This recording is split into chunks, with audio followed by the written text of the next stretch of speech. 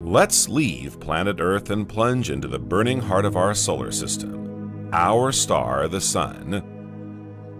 The Parker Solar Probe mission, one of NASA's most significant missions, aims to explore the Sun and its environment in greater depth than ever before. Launched in August 2018, the mission's main objective is to analyze the Sun's outer atmosphere, known as corona, as well as the solar wind.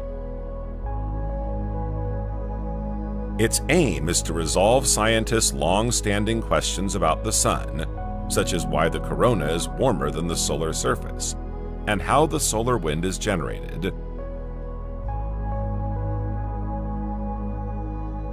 Parker's findings on the Sun's continuous ejection of matter and energy will be invaluable in improving the scientific models used to study and predict near Earth space.